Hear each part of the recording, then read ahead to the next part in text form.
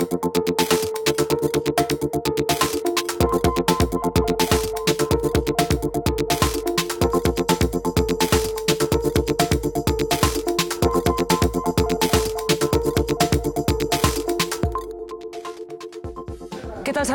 Buenas noches. Bienvenidos a Vía Vs, lunes 22 de julio. Manuel Freire Garabal, muy buenas noches. Muy buenas noches. Bueno, Manuel es coordinador del Laboratorio de Estrés y Neuroinmunología de la USC, catedrático de farmacología y organizador de un reciente congreso en el que habéis tratado de determinar hasta qué punto la crisis y el estrés que eh, genera nos está poniendo enfermos. ¿La crisis nos está enfermando? La crisis está eh, activando una serie de mecanismos que pueden inducir a la enfermedad. Nosotros eh, somos científicos y como científicos sabemos que una serie de elementos que producen trastornos eh, en la salud mental de los trabajadores y no digamos más allá, la gente desempleada puede causar trastornos bioquímicos que activen a la enfermedad o que hagan que la enfermedad, una vez establecida, sea mucho más grave. Y eso supone además no solamente un perjuicio para la persona, sino también para la economía de las empresas y de las naciones. Estamos hablando de mucha gente eh, afectada sobre el papel, porque estamos hablando de que en toda Europa hay 26 millones de personas, por ejemplo, que no tienen empleo. Una situación, supongo, Manuel, que genera estrés el no tener trabajo, ¿no? Eh, lógicamente, y no solamente no tener trabajo, sino el miedo a perderlo. Eh, dice un libro eh, bastante conocido de que por qué las cebras no tienen úlceras gástricas, porque están viendo permanentemente a sus depredadores. Nosotros no los estamos viendo y entonces tenemos miedo al depredador que no vemos y eso nos causa más daño. Nos causa más daño lo que tememos que lo que realmente está sucediendo o lo que realmente estamos sufriendo. ¿Qué es el estrés? El estrés es un conjunto de estímulos uh, que la vida nos procura. Eh, lógicamente el estrés existe desde el momento en que nos conciben, crecemos en el útero de nuestra madre y nos vamos desarrollando. Sin estrés no habría vida, no sería posible la vida.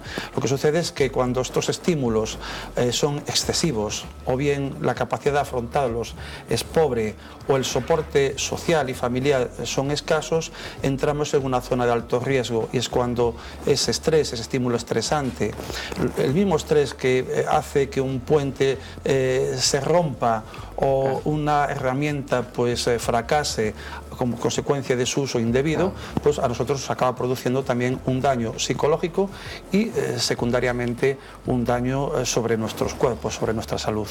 Bueno, hablábamos de, ese desempleo que fue uno de los asuntos que abordasteis en, este congreso con presencia de gente tan importante como David Owen, que fue, como sabemos, ministro del gobierno británico, Leonard Levy también, un auténtico experto en este tipo de cosas.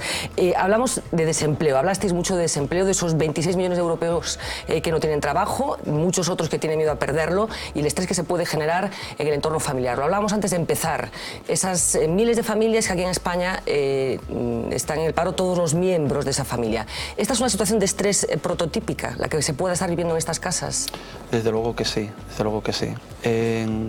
Realmente en este momento en Europa no solamente hay 26 millones de parados, sino 20 millones más en riesgo de exclusión social y otros 50 millones de personas que están en el entorno de estos 45. Ah, Por lo tanto, 100 millones de personas en Europa están en alto riesgo de estrés, estamos hablando de la quinta parte de la población y eso supone unos costes sociales y económicos también eh, importantísimos. ¿Qué enfermedades eh, provoca el estrés? Bueno, el estrés causa lógicamente enfermedad eh, psicológica y psiquiátrica. En este momento en España está habiendo un repunte de cuadros de ansiedad, cuadros de depresión. Se observa que hay un incremento en el consumo de fármacos empleados para esas patologías, pero también eh, se comprueba que hay un aumento en la sintomatología de otras enfermedades, como son las cardiovasculares, ah, las traumatológicas, eh, las endocrinológicas.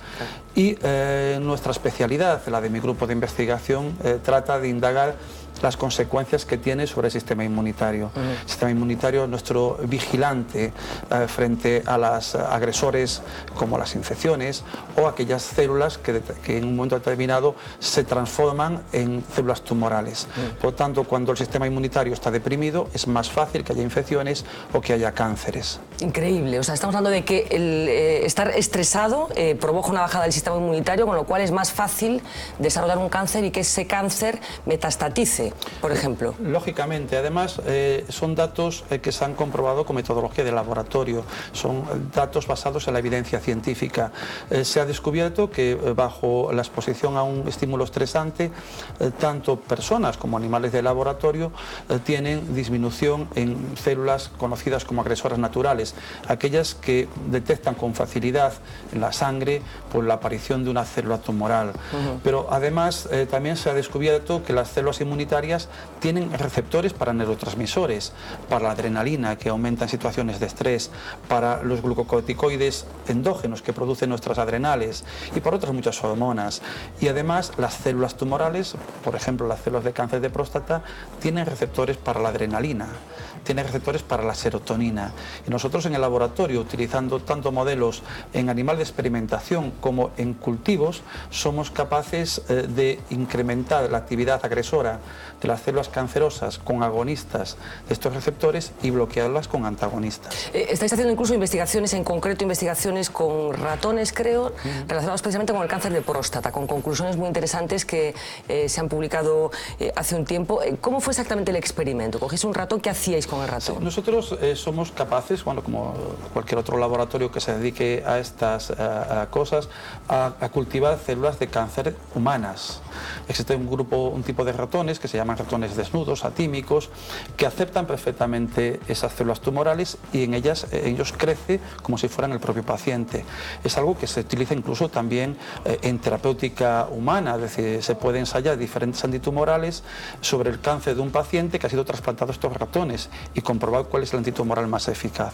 Bueno, pues nosotros en animales de experimentación que llevan, que portan y en el que crece un cáncer de próstata humano, hemos comprobado que la utilización de antagonistas, es decir, de moléculas que impiden el, efecto excesivo de la serotonina o la adrenalina, esos tumores crecen menos y encima metastatizan muchísimo, ah, muchísimo menos hacia pulmones, hacia hueso o hacia, el cerebro.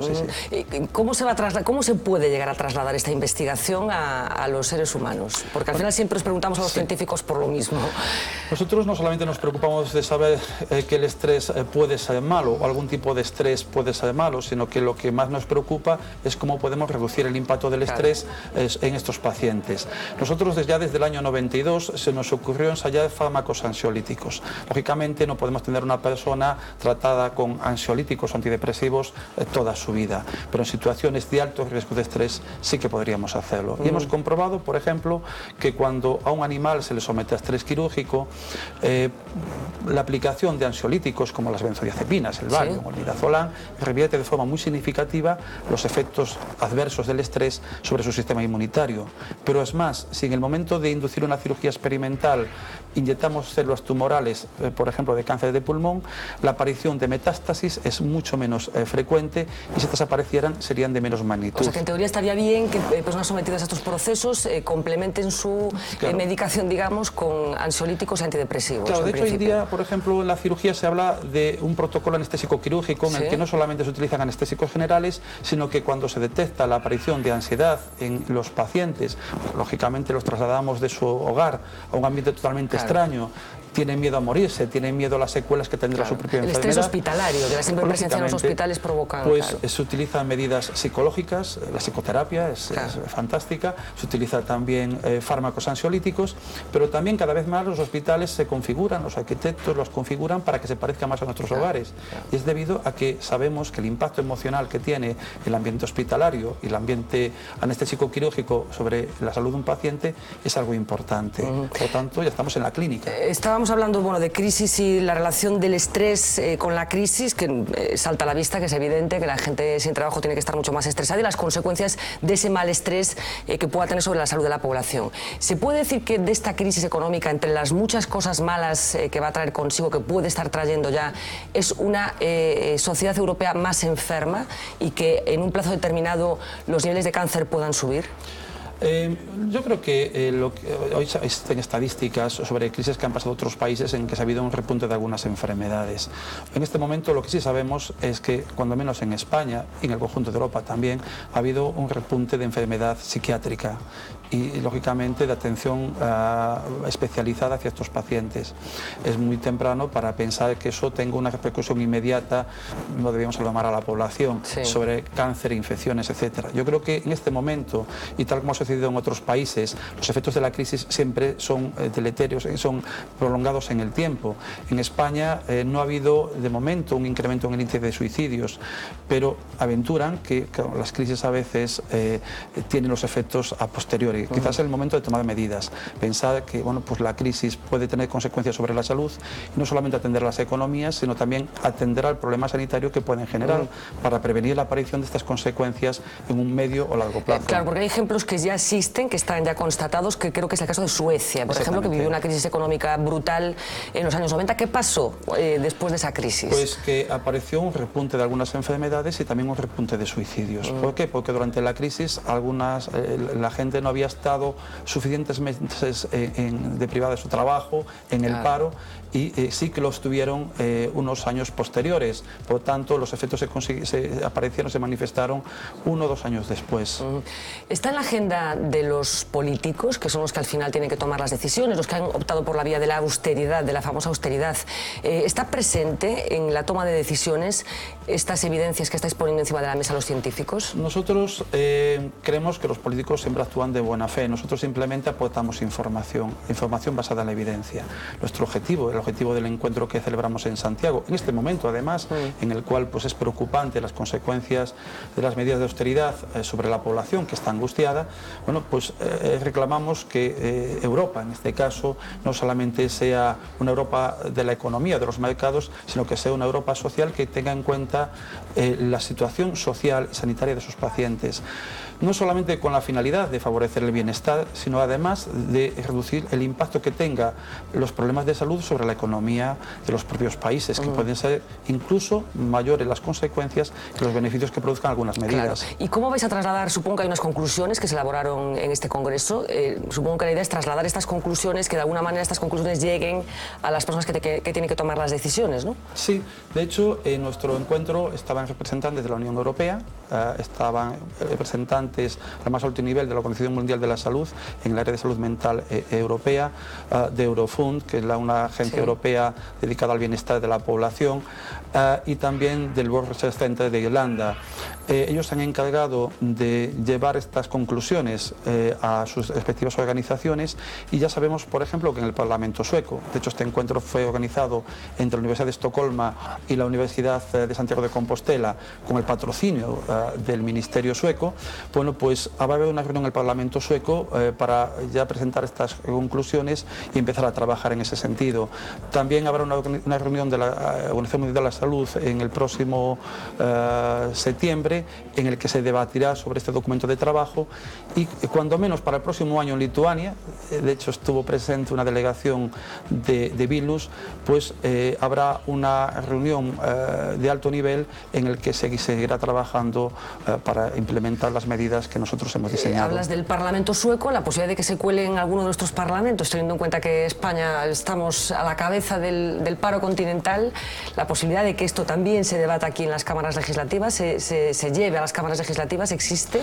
Desde luego, es que nosotros ya nos reunimos en Suecia, en el Parlamento sueco, en el año 2009, como fruto de una acción conjunta entre la presidencia británica de la Unión Europea y la presidencia sueca. En aquel momento llevábamos poco tiempo uh, de la supuesta crisis que después apareció.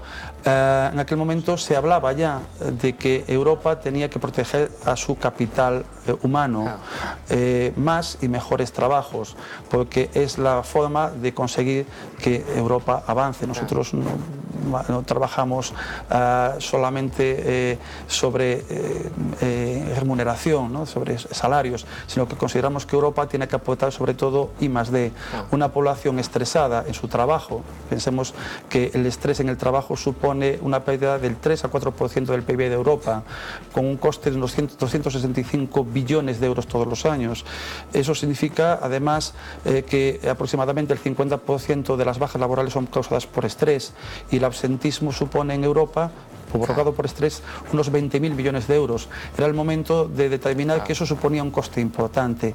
Y además en aquella reunión del Parlamento estaba presente un investigador de la London School of Economics and Political Science, que fue el que transformó esos datos de estrés en economía. En economía, que al final mucha gente solamente entiende las cosas cuando se traducen en porcentaje del PIB. ¿no? Eh, eh, certificado. Entonces decíamos que estamos afectando a la capacidad de innovar y, de desarrollar eh, nuevos avances en las empresas europeas y Europa lo que está vendiendo fundamentalmente es innovación y diseño.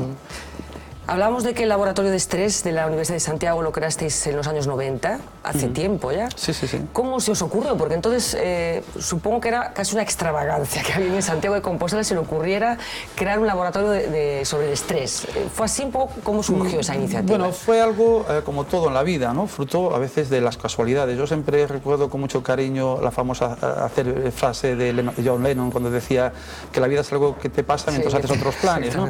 Pues yo un día precisamente, bueno, pues en aquel momento ETA secuestraba a, muchas personas y bueno, pues en un programa de televisión eh, se habló de que ah, se observaba una cierta relación de causalidad entre el estrés causado por un secuestro prolongado y la aparición de cáncer. Yo en aquel momento estaba trabajando en neuroendocrinología, viendo los efectos de fármacos ansiolíticos sobre la respuesta neuroendocrina al estrés y me encajaba dentro de mis planteamientos. Entonces, bueno, al día siguiente fui a la facultad, indagué en la bibliografía científica y comprobé que sí que había algunos eh, evidencias importantes, tanto en experimentación como en clínica, que apuntaban en esa dirección. Y lo que se me ocurrió fue buscar una solución, aplicando fármacos, aplicando métodos que pudieran revertir la respuesta inmunitaria al estrés. En el año 92 se celebró en Santiago un congreso sobre estrés al que me invitaron y ahí conocí bueno, pues a personas que veían el mismo problema que yo, pero de diferentes puntos de vista, desde el punto de vista clínico, desde el punto de vista social, desde el punto de vista psicológico y un farmacólogo bueno, pues encontró la perspectiva holística de, que necesitaba, para que necesitaba para colaborar y surgió una relación, un idilio entre el Caronisca, entre el Departamento Instituto más ni menos, de Investigaciones sobre este del profesor Levy y, nosotros. Y vamos, prácticamente desde aquel momento nuestro laboratorio se llamó Laboratorio Leonard Levy eh, de Neuroinmunología eh, y, bueno, pues hemos colaborado ampliando nuestro eh, espectro de, actuación pues hacia diferentes frentes. y en, estas dos décadas, para que la gente sepa un poco, ¿qué, habéis conseguido? ¿De qué cosas estáis especialmente orgullosos? Pues hemos pasado desde eh, lo observacional a lo molecular hemos eh, trasladado los datos mm. eh, que estaban latentes en la, imaginación de las personas. La intuición, casi, la, intuición, Sí. Eh, Galeno en el siglo II antes de Cristo ya decía que las mujeres que eran melancólicas eran más proclives al cáncer de mama que las sanguíneas, pasando por William Osler, que decía que a la hora de pronosticar la evolución de una enfermedad provocada por agentes infecciosos era preferible indagar en, la cabeza de los pacientes más que, por ejemplo, en una tuberculosis en los pulmones. ya bien entrado el siglo XX, pues hubo gente que hizo estudios en animales de experimentación, en los que se comprobaba eh, que el estrés sí que era capaz de producir inmunodepresión, favorecer la aparición del cáncer y que este además fuera más grave.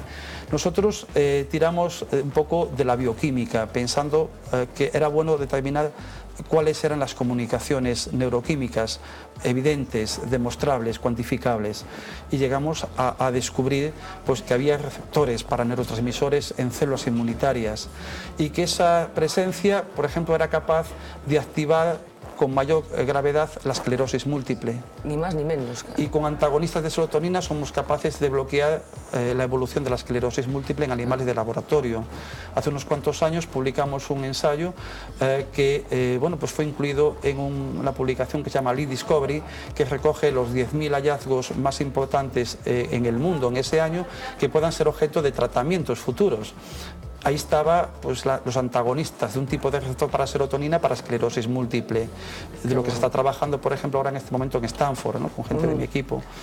Y bueno, pues por ejemplo, ver cómo podríamos con antagonistas para la serotonina bloquear la migración de un cáncer de próstata hacia el hueso y se consigue. Por tanto, para los más escépticos les estamos proveyendo de pruebas tangibles, cuantificables. Científicas, ¿no?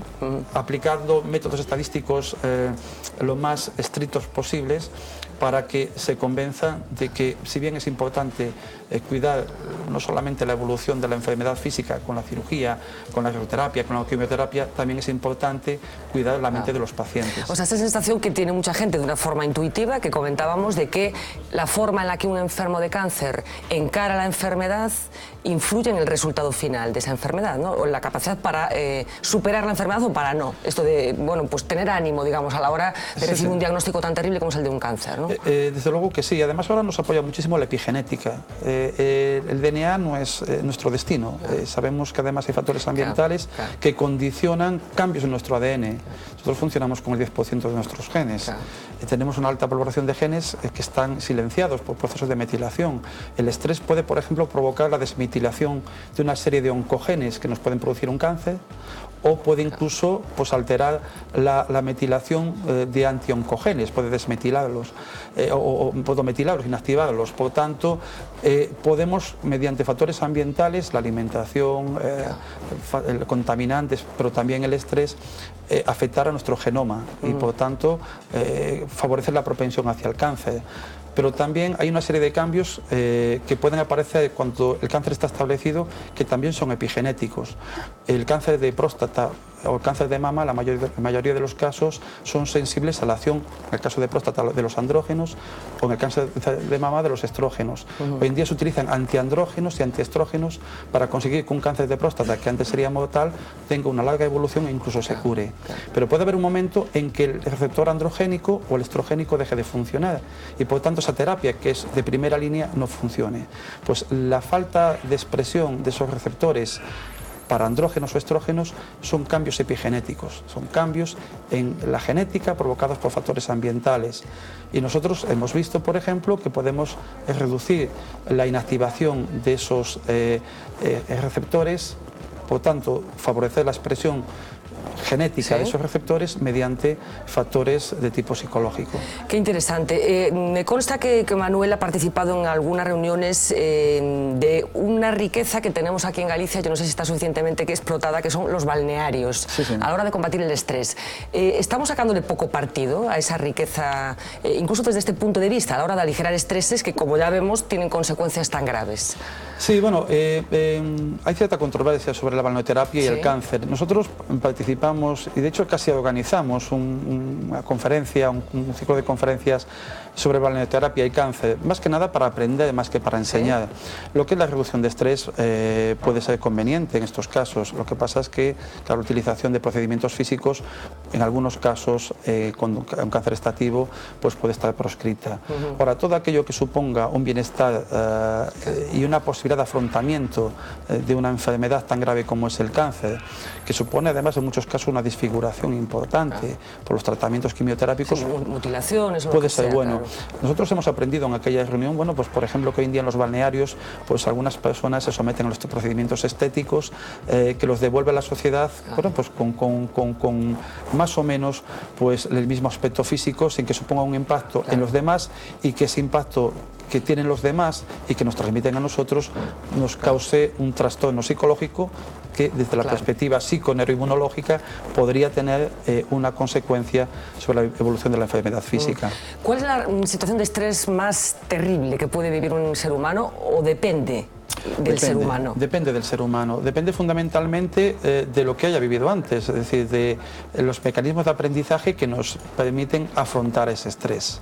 En segundo lugar, también depende del soporte social que tengas tanto del entorno familiar, de los amigos, como eh, lo que te configura digamos, la propia sociedad en la que vives. Y eh, lógicamente depende también de la intensidad del estímulo eh, Pero por ejemplo, hay, no sé si responde a un mito que probablemente es una leyenda urbana, situaciones de estrés brutales, que esto hemos oído más de una vez. Por ejemplo, una persona que se enfrenta a una situación de estrés brutal y que, por ejemplo, en segundos el pelo se le pone blanco. ¿Esto puede suceder? ¿Se pueden producir reacciones tan extremas del, del organismo ante una situación de estrés? Lógicamente sí. Además, eh, las propias sociedades avanzadas están eh, preparando sistemas de afrontamiento para situaciones de catástrofes locales y globales. Recientemente hemos vivido situaciones dramáticas, como por ejemplo el tsunami ah, de Japón. Pero previamente ya hubo casos, por ejemplo, como Chernobyl. En Chernobyl, pues Lena Levy, que estuvo en la comisión, bueno, pues nos ha transmitido que gran parte de las patologías no fueron debidas directamente a la radiación, sino al miedo a los efectos secundarios que tendría esa radiación. Ha habido un incremento porcentualmente muy importante en la prevalencia de enfermedades cardiovasculares, por ejemplo, que no tenían que ver en principio con la radiación. El miedo a las consecuencias de la catástrofe. Eh, nosotros trabajamos y de hecho organizamos con antelación a este, a este encuentro, hace un par de años, una eh, conferencia eh, sobre estrés en situaciones de alto riesgo, en la que intervinieron bueno, personas que trabajan con las fuerzas del orden público, eh, atención primaria, atención especializada, protección civil. Y bueno, pues fruto de aquello surgieron primero conocimiento de un impacto importante de enfermedades causadas por el sistema inmunitario en los grupos de población que intervienen inicialmente en estas circunstancias y como fruto de ello, de este conocimiento, también se diseñaron medidas, medidas que hoy en día pues, están plasmadas en manuales pues, que llevan en algunos casos pues, vehículos dedicados por la atención inmediata de catástrofes locales. Pero estamos también enfocados hacia catástrofes globales. ¿Cuáles son los síntomas del estrés? ¿Y puede suceder que yo esté estresadísima y no sea consciente de que lo estoy? Sí, sí, se puede estar estresado y, perfectamente sentado en una silla en la esquina de una habitación. Eh, lo que sucede es que la reacción al estrés es muy diferente. Eh, los eh, anglosajones hablan mucho del anger in, anger out, es decir, interiorización o esterilización del aire ante el mismo problema.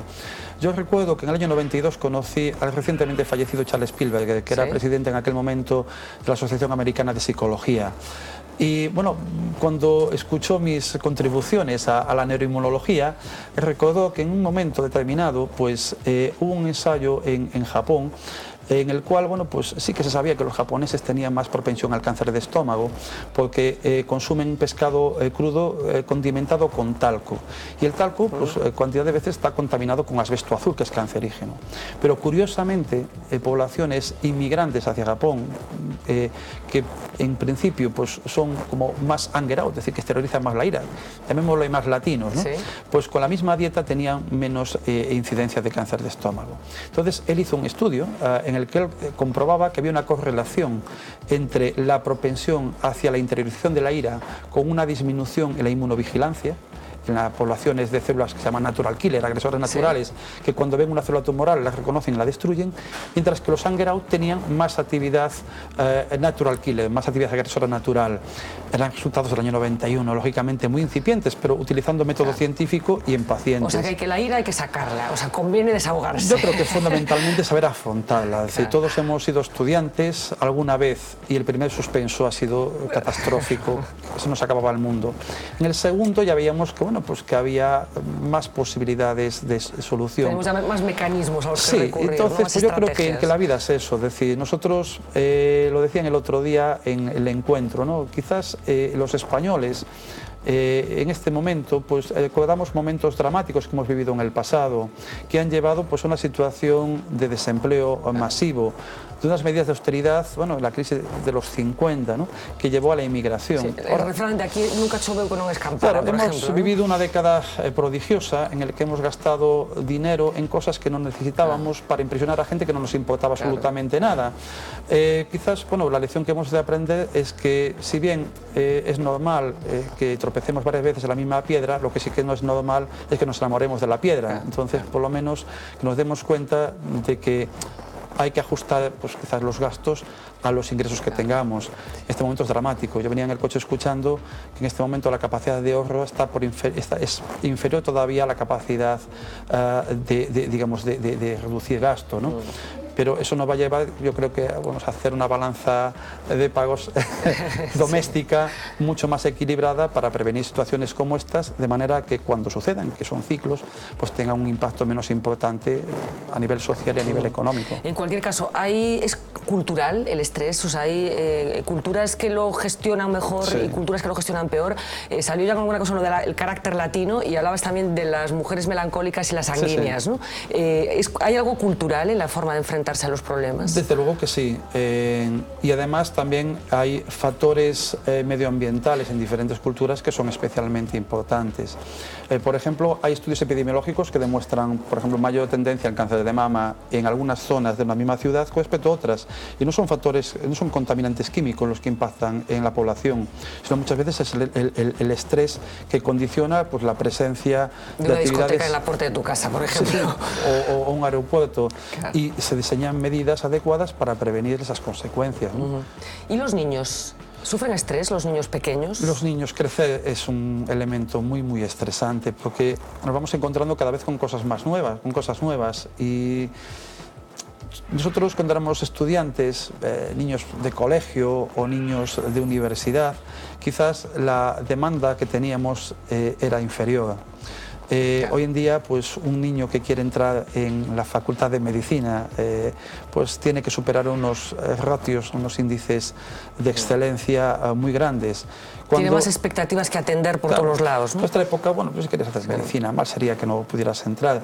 Pero hoy en día, niños con una gran vocación acaban yéndose, bueno, pues a lugares muy distantes, ¿no? Porque tienen que cumplir con ese sueño. Y eso, lógicamente, un día de una selectividad, con ese alto requerimiento, con esa expectativa que tiene él, o tiene en su entorno, acaba sufriendo muchísimo más. Levi, por ejemplo, pues eh, siempre hace referencia a este concepto de que a veces sufrimos de estrés cuando las expectativas que tenemos nosotros son eh, superiores a nuestras capacidades o bien cuando las expectativas que tiene nuestro entorno son superiores a la capacidad que nosotros tenemos de aportar al entorno. Y eso los niños y los adolescentes lo sufren muchísimo más. Y los padres supongo que tenemos muchas culpas de las expectativas que a veces depositamos en los niños. Desde, luego que sí, pero también los padres nos estresamos con las expectativas al final es un ciclo vicioso. Bueno, estamos hablando del estrés malo, pero supongo que hay un estrés bueno también, el que nos permite seguir adelante. Lógicamente, sin estrés la vida sería imposible. Eh, la fecundación eh, supone un estrés para las células que fecundan y las que son fecundadas. Y hay veces que a consecuencia de ese elevado estrés, que a veces se traduce en un estrés oxidativo o de otro tipo, pues no se produce. El crecer dentro del vientre materno es un factor estresante para el feto y para la madre. Y eso, bueno, pues supone en muchos casos pues algo beneficioso. Eh, una actividad eh, como por ejemplo la cirugía o un deporte de riesgo supone un estrés positivo, pero que nos satisface. Lo malo es cuando esa actividad uh, quirúrgica lleva un fracaso o cuando el deporte de riesgo lleva un accidente. En esos casos, lógicamente, pues hay un cambio de cualidad. Y es precisamente lo que define Levi en su famosa obra, el estrés puede ser la salsa de la vida o el beso de la muerte. Claro, muy bien esa, esa dicotomía. Bueno, estamos hablando de las eh, estupendas investigaciones que se están haciendo aquí en Santiago de Compostela, en este eh, laboratorio de estrés y neuroinmunología, y estamos hablando de crisis también, así que me gustaría juntar los dos conceptos. ¿Qué tal os va eh, con relación a la crisis y a esos recortes que están sufriendo las universidades y los departamentos de investigación también? Pues eh, un país que no invierte en I+.D. es un país que no, que no progresa. Eh, en este momento eh, nosotros, ya digo, somos científicos, no somos políticos, ni tenemos pretensión de ocupar el puesto de los políticos, pero reclamamos lógicamente más apoyo. ¿Por qué? Porque una de las maneras de salir de la crisis es invirtiendo en I+.D. todos los países que invierten en I+.D. están a la cabeza del mundo y nosotros tenemos que estar en esas circunstancias. Nos adaptamos y a veces, bueno, pues aprovechamos nuestras baterías de ensayos para hacer, como estamos haciendo nosotros, screening o cribado de nuevos fármacos, y estamos poniendo la imaginación, intentando bueno, pues, eh, ser capaces de que moléculas que están en síntesis química o que proceden de fuentes naturales, utilizando baterías eh, que nos permiten saber su efecto antitumoral, antimetastático, pues saber si son buenas o no son buenas, y como fruto digamos, de esa diversificación que nos ha obligado la crisis, pues hemos conseguido también avances importantes. Tenemos moléculas muy interesantes que de no ser de la crisis no las hubiéramos conseguido conseguido. Pero bueno, es bueno que tanto en unas líneas como en otras el aporte de diferentes fuentes pues sea el Claro, porque hay científicos que sostienen que lo que está pasando es lo suficientemente grave como para que en unos años, eh, bueno, pues España tenga un problema con, con el I+.D., ¿no? Nosotros eh, lo que vemos, lo que nos da mucha pena es que gente que hemos formado en España ah, Fuga de talentos, ¿no? Claro. se va fuera y, Y se no quedaría tenemos la aquí. convicción de que vuelva algún día, porque mm, tenga, la, tenga la seguridad de que en otro envite de una crisis futura, bueno, pues no se queden, eh, como ha sucedido en este caso, muchos de ellos, pues en una situación de, de- de desamparo total. Eh, creo que vamos, eh, invertir en I+D es invertir en economía y es invertir en que de esta situación salgamos lo antes posible. Bueno, Manuel Freire Garabal participó también en la creación de una iniciativa muy interesante también, eh, que tiene unos años ya, que es el Grupo Compostela. ¿Qué es el Grupo Compostela? Pues el Grupo Compostela es una red de universidades que inicialmente se creó pensando en vincular a las universidades que físicamente estaban en el Camino de Santiago. Fue una iniciativa que se inició en el año 92. Ah, enviamos una comunicación a las 3.000 universidades que están en los caminos de Santiago y tuvimos una contestación masiva de casi un centenar de universidades. Les reunimos en Santiago y le dijimos, queremos trabajar juntos y dijeron que sí. Llevamos eh, más de 20 años trabajando juntos. Hoy en día el Grupo Compostela es el grupo de universidades más grande del mundo. No solamente tiene universidades físicamente en el camino, sino aquellas que comparten ese espíritu a partir del cual se creó eh, Europa, que es el, el espíritu del camino.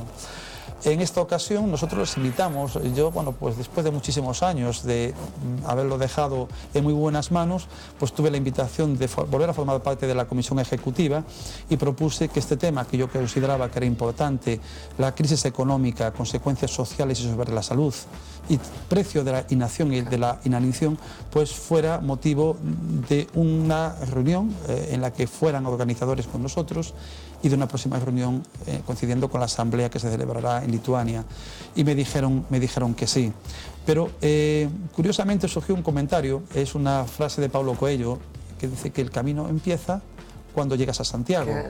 Entonces hemos llegado a Santiago y a partir de Santiago generamos precisamente un camino de esperanza en la lucha eh, frente a las consecuencias nocivas de la crisis en salud y en economía. Pues qué interesante, Manuel, de verdad. Enhorabuena por todo ese trabajo, por cosas tan importantes que se están haciendo aquí en Galicia, concretamente en, Santiago de Compostela. Eh, da gusto hablar con, gente más allá de los políticos con los que nos encontramos todos los días. Por cierto, ¿los políticos están muy estresados o nos parece a los demás y no están tanto? Yo creo que todos los seres humanos tenemos un nivel de estrés. Yo creo que nadie no es protagonismo, no es digamos, el estrés no es patrimonio de nadie. ¿no? Yo me imagino que habrá eh, políticos eh, muy estresados, máximo en estos momentos, Sí. y otros menos estresados. Pero eh, también lo que yo creo que es cierto es que ellos están sometidos a muchísimas pruebas a lo largo de su la- dilatada eh, vida profesional y bueno, pues también han desarrollado mecanismos de afrontamiento para intentar responder más eficazmente, no solamente desde el punto de vista psicológico, sino también desde el punto de vista biológico, a esos estímulos estresantes. Pues de verdad, muchísimas gracias por A acompañarnos vosotros, esta noche. Enhorabuena por vuestro trabajo. Seguiremos muy de cerca para ver cómo evolucionan esas investigaciones. Muchísimas Muchísimas gracias y muy buenas noches. Vamos a hacer una pequeña pausa de publicidad. A la vuelta vamos a seguir hablando de cosas que han pasado este día. Ya saben que por fin Mariano Rajoy ha cedido. Nunca una comparecencia parlamentaria eh, fue tan esperada. Hoy ha confirmado que efectivamente se someterá al escrutinio de las Cortes para ver qué ha pasado en su relación eh, con el ex tesorero del Partido Popular, Luis Bárcenas. A la vuelta de publicidad.